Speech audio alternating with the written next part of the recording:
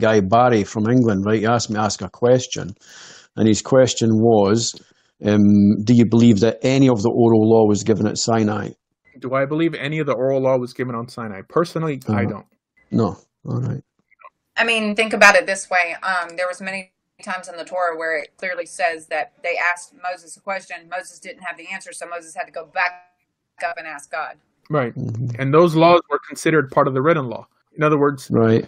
We say quite loosely that the whole Torah was given on Mount Sinai. But if you ask the average Orthodox Jew, he really doesn't necessarily believe that.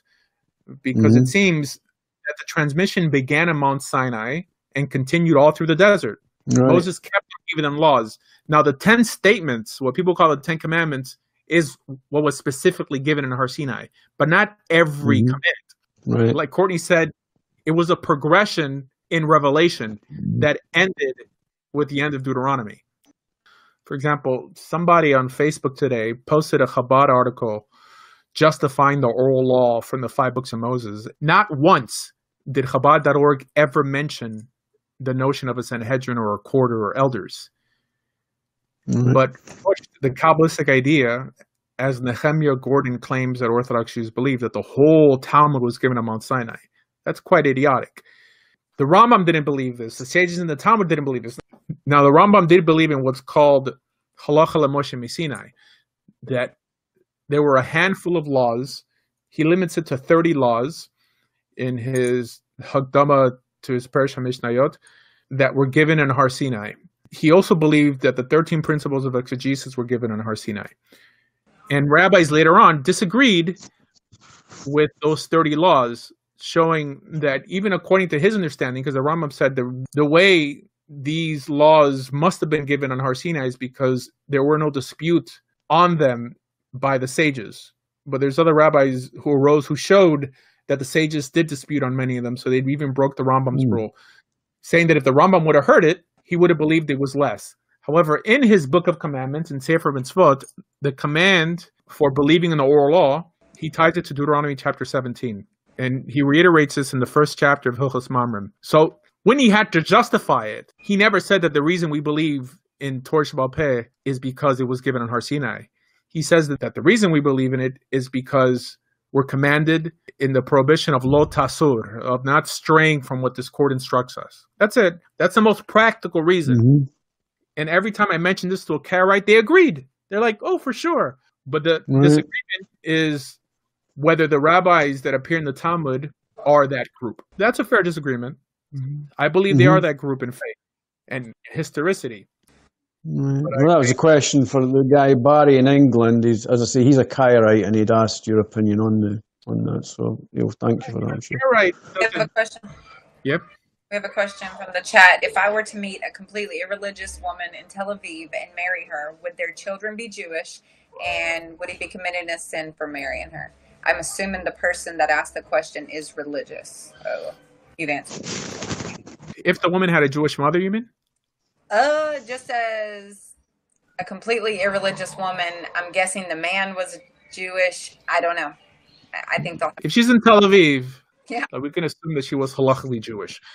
All these laws regarding uh, people being put to death, who you can or cannot marry, are rabbinic. Now, I believe in rabbinic Judaism, but like the rabbis of the Talmud, we always have to make a distinction between what's from the Torah and what's from the rabbis.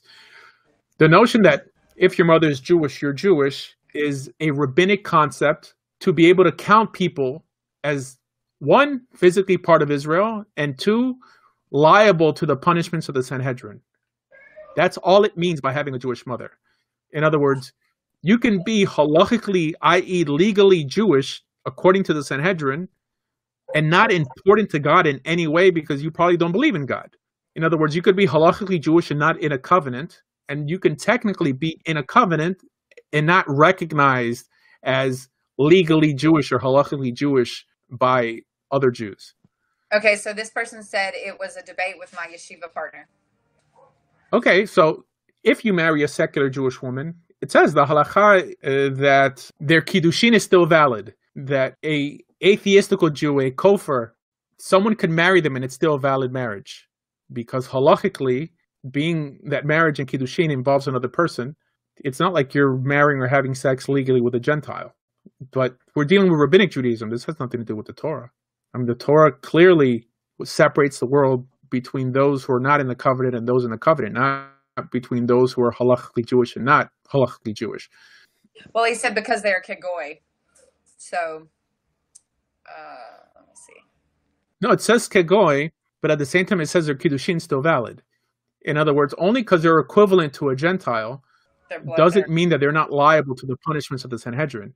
Right, for example, it says that someone who's mechalel Shabbat, someone who desecrates the Sabbath, he has a status as kegoy. Like Shulchan Aruch says, kekuti, like a Samaritan. That doesn't mean that he's not going to be put to death by the court. Now, like if he was really fully a Gentile, then a Gentile is not put to death for not keeping the Sabbath. He would completely elude punishment. So he's halachically Jewish to receive onesh, punishment. But is he in a covenant with God? No. Being Jewish has nothing to do with being in a covenant with God. There's people who go through a halachic conversion process, which allows them to halachically marry another Jew who really don't even believe in God.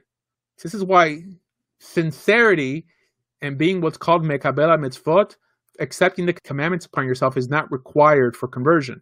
It says, yes, that we tell them some of the light mitzvot and some of the heavy mitzvot, but it says clearly that if you fail to investigate the person, the conversion is still valid. That if the person right after the conversion, the person begins to worship idols again, he or she is still halakhically Jewish.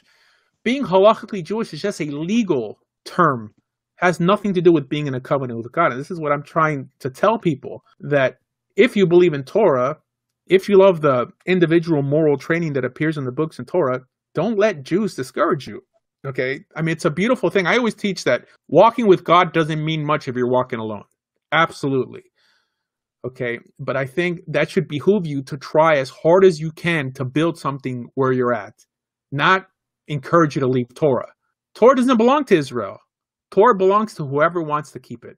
That's it. So let's make a distinction between halacha and Torah, because Torah deals with you making an agreement, just like the erev rav and the Hebrews made an agreement. First accept and then keep Torah.